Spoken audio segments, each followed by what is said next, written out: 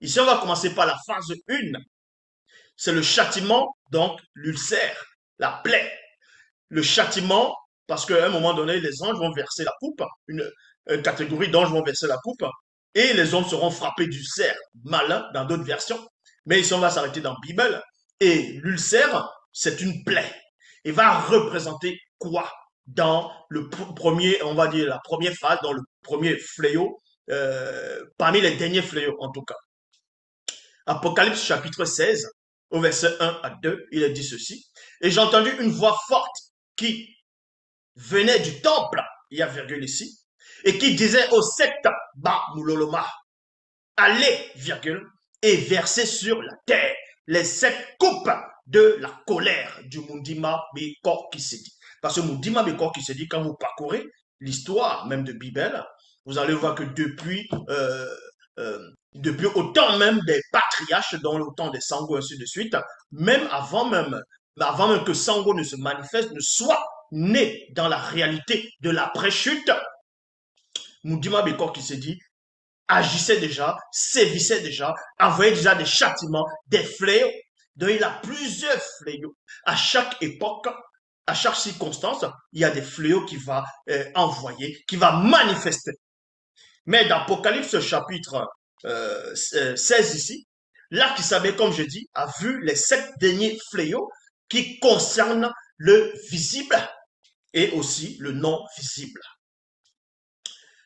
Comme je dis ici, Apocalypse chapitre 16, verset 1, l'Archisabé va entendre audiblement, donc spirituellement aussi, une voix qui vient du temple.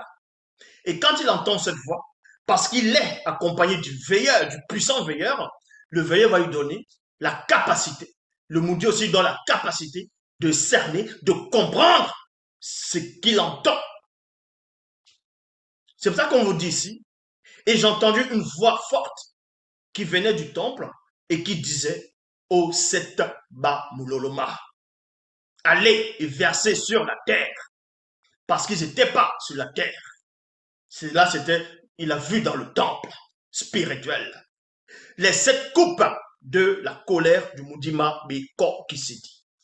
Dans le verset 2, on vous dit ici, le premier Allah, dans le premier qui ici, c'est le premier Bamulolma, c'est-à-dire le premier Namulolma plutôt, qui était parmi les sept Allah, et il versa sa coupe sur la terre.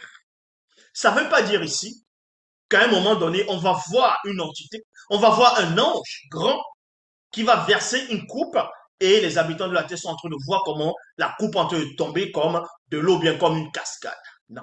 Ça se passe spirituellement, dans le secret. Et en ce moment, l'Akisabé était dans le secret. Et on va voir les effets qui vont se produire, qui vont se manifester dans le visible.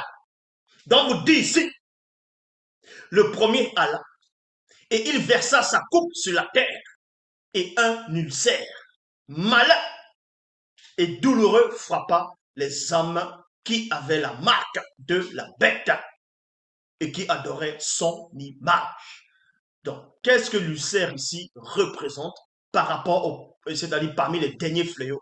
L'ulcère représente quoi réellement? Parce que quand vous lisez même dans les Bibles classiques, on vous dit que Satan, à un moment donné, avait frappé d'un ulcère malin à Job. Et aussi, dans la parabole du riche et du pauvre, Lazare, Lazare aussi, en fonction des versions, était couvert d'ulcère. Mais pourquoi les Bamololoma vont envoyer le fléau de l'ulcère ici? L'ulcère, c'est quoi d'abord, premièrement? L'ulcère, c'est une plaie de la peau. C'est une plaie. L'ulcère, c'est une plaie. Donc, on va voir à quoi consiste réellement cette plaie-là. Cette plaie-là représente quoi réellement? Dans ce châtiment Le premier châtiment ici, parmi ces sept babyloniens d'Apocalypse chapitre 16, on va dans Naoum. Dans Naoum chapitre 3 verset 17, il est dit ici, il n'y a point de remède il n'y a point de remède à ta blessure. Il y a virgule ici. Ta plaie est mortelle. Donc l'ulcère que euh, euh, euh, qui sera versé dans le visible par rapport à ce fléau que le démon de corps qui s'est dit va se manifester, va frapper par rapport à sa colère. Ça va être une plaie mortelle. une plaie mortelle. Une plaie, c'est un fléau en même temps, c'est un châtiment.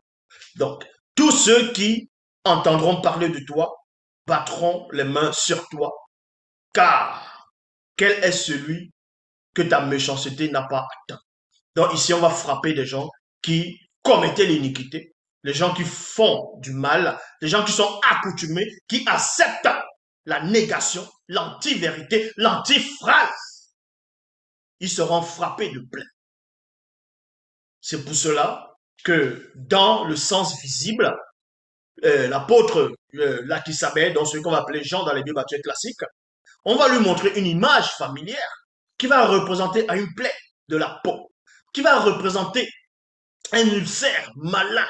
Est-ce que vous comprenez? Un ulcère vicieux, un ulcère mystique. Mais derrière l'ulcère, certes il y a l'ulcère, certes il y a la plaie, mais derrière la plaie, il y a un autre châtiment. Il y a une catastrophe. Donc il y a une malédiction. En cela, on frappe spirituellement. On frappe ici ces personnes qui n'ont pas accepté. C'est ce qu'on va appeler les plaies. Il y aura des catastrophes, ainsi de suite. Dans les maladies de peau, euh, euh, euh, il y a beaucoup de choses qui vont se produire. Ici, on va aller plus en profondeur.